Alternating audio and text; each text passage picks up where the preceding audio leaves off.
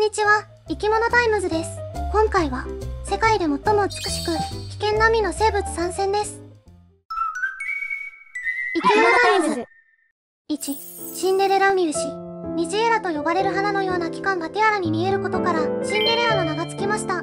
肉食性で、特にカツオノエボシなどの毒を持つクラゲを好んで食べ、その毒を盗刺胞として利用し、外敵からり強い毒のある四方を選んで吸収しているので、素手で触ると危険。見た目ほどシンデレラじゃない。2、オーストラリアンバチクラゲ。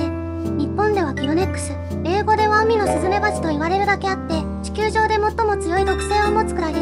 触手に触れた小魚や甲殻類を瞬殺します。人が刺されると耐えられないぐらいの激痛を感じ、次に刺されたところ返し、その後、視力低、困難、心停止等の症状が現れ、1から10分ほどで命を落とします。オーストラリアの海には入らない方が無難。かも。3、ユバートゲオンミヘリ。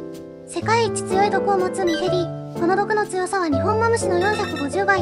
性格はおとなしいので積極的に攻撃してくることはありませんが、興奮や威嚇している時は攻撃してくることも。しかし、実はこのミヘリによる被害はほとんどないのだと。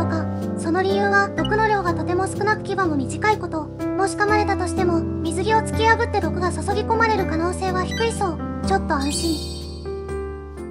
最後までご視聴いただきありがとうございました。気になった内容はありましたか？